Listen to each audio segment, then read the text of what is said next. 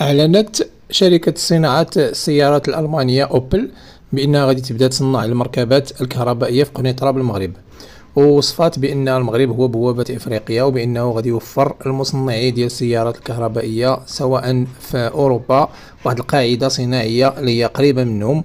وغادي تقدر تكون بأنها هي واحد المركز لتصدير المركبات الكهربائية بتكلفة جد منخفضة أو لا معقولة. إلى منطقة إفريقيا جنوب الصحراء الكبرى اللي تشهد واحد النمو سريع جدا. اليوم عطينا الانطلاقه مع مجموعة رونو لتصنيع سيارة Jogger اللي هي اولا أول سيارة في هذا الحجم اللي كتصنع في المنظومة الصناعية المغربية. سيارة اللي كتعطيها إنصاف ديال C كنا كنصنعوا سيارة اللي الإنصاف ديالها ا هذه السيارة في هذا الحجم هي سيارة عائلية. هي أيضا أول سيارة هاجنه يعني هيبريد اللي غتصنع في المغرب. وهذا تطور وقفزة نوعية كبيرة. هذه السيارة غتمكن أيضا باش تشغل المصانع ديال رونو في المغرب.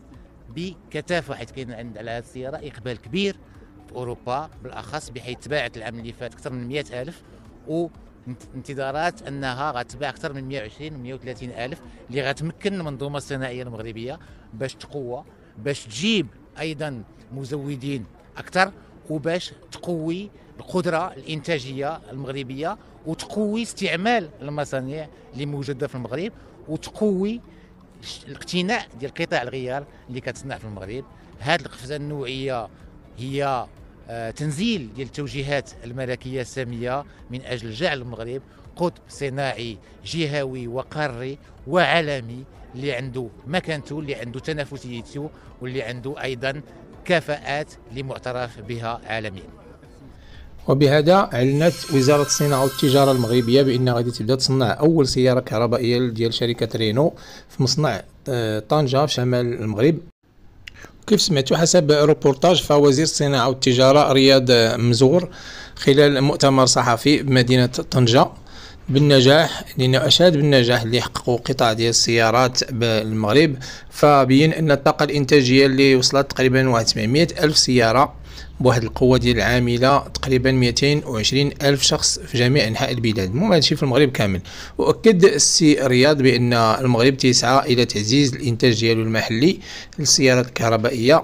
وبطبيعة الحال استجابة للطلب العالمي المتزايد على السيارات الكهربائية الهجينه les hybrides فحسب السي الوزير أن البلاد بطبيعة الحال المغرب بدات تتصدر اجزاء ديال السيارات لنحو تقريبا 71 وجهة عالمية.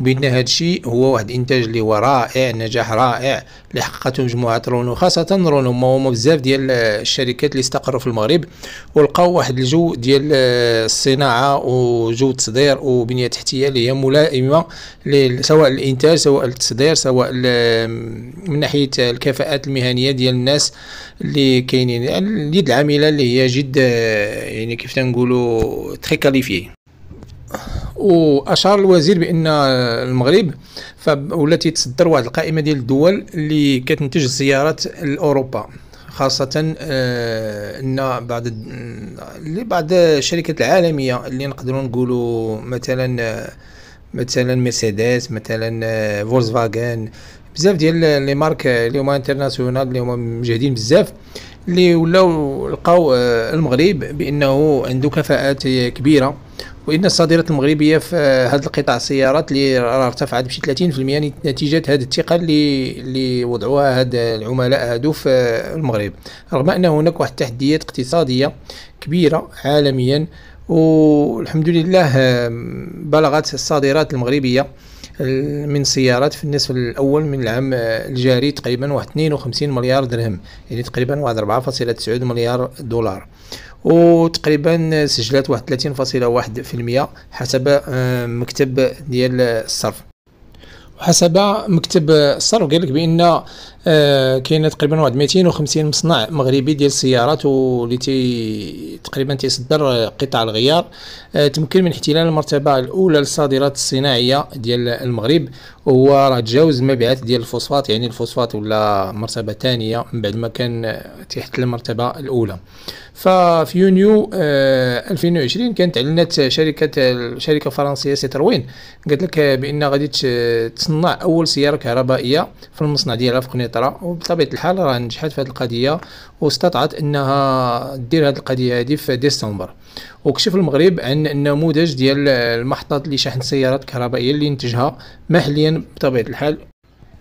وحاليا راه محطات ديال الشحن راه منتشره عبر ربوع المملكة في ف l'autoroute دابا فاش تم غادي ف l'autoroute تلقى بزاف ديال المحطات ديال الشحن في في عده لي دوك stations اللي كاينين في الطريق تقريبا فيهم كل محطة تلقى فيها واحد خمسة ستة ديال المحطات ديال الشحن بالنسبة للوقت ديال ديال الشحن تيتراوح بين آه، تقريبا شي نصف ساعة نصف ساعة حتى ل 35 دقيقة. ولكن راه على حسب بعض يعني بعض الأخبار تيقول بان راه هناك مساعي باش أنها ما توصل 10 ديال الدقائق. كي وكيف كنت قلت لكم شي مرة كنت درت واحد المرة واحد الفيديو على هذوك السيارات اللي بغيت والسياره ديال إلكتريك. فقلت لكم راه بالنسبة للناس اللي بغاو يشريو السيارات مازوت وهذاك الشيء فجديده فبطبيعة الحال راه القضية راه خاسرة جدا لأن شريتي سياره دابا مازوت. وراه المستقبل هو السيارات اللي هما hybrides ولا السيارات اللي هما كهربائيين. علاش؟ لأنهم اولا اقتصاديا في المازوت اقتصاديا بزاف. ونقيين حتى في الركبه سميتو ما فيهم الصوت ما فيهم الصداع ما فيهمش اسمو وبالنسبة سميتو ال réparation تقريبا zéro réparation ما فيهمش réparation بزاف. والمشكل ديال دوك السيارات hybrides هي أنهم فاش تفوت واحد السرعة معينة تما كتبدا كيخدم l'essence. يعني تنظن والله ما عقلت واش أختي 50 كيلومتر تقريبا ولا ما 60 كيلومتر. حتى توصل هذا القياس ديال كيلومتر في الساعة تقريبا شي 50 كيلومتر في الساعة كيبدا يخدم سميتو l'essence و l'essence عاوتاني تعاود يشارجي لك اسمو يعاود يشارجي لك ال batterie اللي اللي كان خدام قبل. ومن بعد عاوتاني فاش تنقص ثاني في السرعة مثلا في شي دورة ولا في سميتو تيبدا يخدم عاوتاني الضو. يعني في وسط المدينة هو هذاك السيارة يبغي خدامه لك من داك الشيء 100% ولكن بالنسبة للطريق طويلة وهذاك الشيء راه تيخدم l'essence تتولي بحال غادي ب l'essence ولأن هي تنقص السرعة كتعاود يخدم ثاني الضوء وغادي هكاك المهم هكا كي توصل السرعة اللي هي مناسبة للضوء كيخدم الضوء وكتقطع الخدمة ديال l'essence وكي تزيد في السرعة آه تتعاود يقلبها عاوتاني خدمة essence وهاد القضية هادي آه، عندها عندها effet مزيان وعندها افي افي خايب. ال effet خايب هو انه الانسان تيقتصد بزاف ولكن ال effet مزيان هو بالنسبة للناس اللي مزروبين آه، تيكونوا غاديين آه، تيكونوا غاديين مثلا بواحد السرعة اللي هما ما تيعطيهاش لهم مثلا المحركات اللي كتكون ديال الضوء. حيت المحركات ديال الضوء ما توصلش لك مثلا 100 120 كم في الساعة ما توصل لك. من بعد إن شاء الله مع التقدم وداك الشيء غادي توصل إن شاء الله غادي توصل. وراه هاد المحركات ولا السيارات الكهربائية راه هما المستقبل. بالنسبة للناس اللي بغاو يشريو مثلا السيارات آه، اللي عوالين يشريو السيارات آه، هاد آه، ديال المازوت راه بغا يضربوا حبل. كونوا